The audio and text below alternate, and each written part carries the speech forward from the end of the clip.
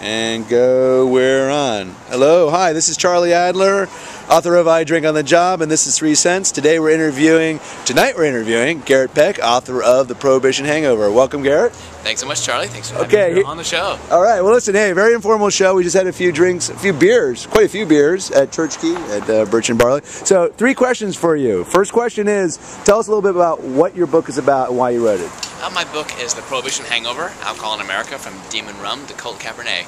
Uh, it looks at how America shifted over from when we repealed Prohibition in 1933 to how you know, we lost the stigma about alcohol to the point where we are today, where two thirds of us drink.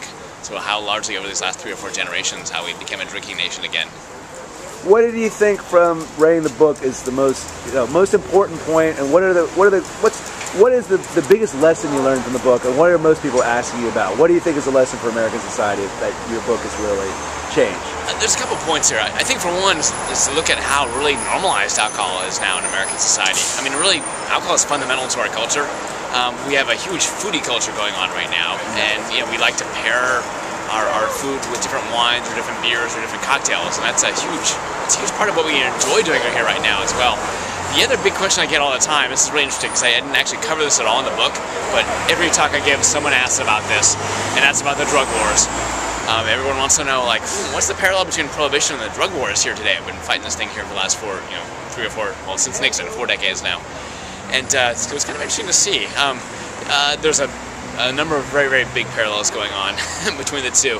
Uh, the most interesting thing, observation I've seen out of it, though, was that during Prohibition itself, uh, personal possession of alcohol was never illegal. You could always really? still possess it. You oh, could okay. still make your own beer, you could still make your own wine, as long as you only did it at home.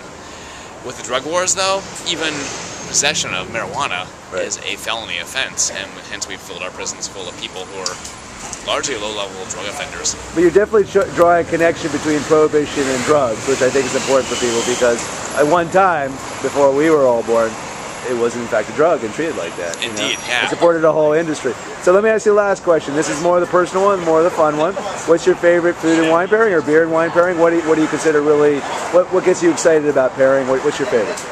I have a couple different favorite pairings. Um, well, hear them all. I think probably the most like mystical pairing experience I've ever had uh, was the the uh, tarte l'oignon, which is the Alsatian tart you get. It's like it's uh -huh. almost like a flatbread yeah. with almost like a pizza. Great, yeah. But they put creme fraiche on it and, oh, yeah. onions, mm. um, and paired together with Gewürztraminer from Alsace. Just wow. I had that on nice this one, huh? street food in in a couple different Alsace. Alsatian Gewürztraminer and what was it again? The tartlet? The uh... yeah, it's like an onion tart. Oh yeah, that's flatbread. Un incredible, just amazing pairing. Okay, one more. How about a beer one? Since you're into, you do booze, you do beer, you do wine, and any beer yeah, ones? Gosh. You don't really care? No, tell me one one. Whatever your other uh, one. A beer, obviously though, classic beer and a hot dog at the baseball stadium. yeah. Oh. That's more psychological. You hear the baseball game or But and yet it's yeah, okay, uh, it's all. What kind of beer? It's all psychological. I, I, I love good Sam Adams. I love Brooklyn Lager. Uh, um, all, kosher hot dog or all beef?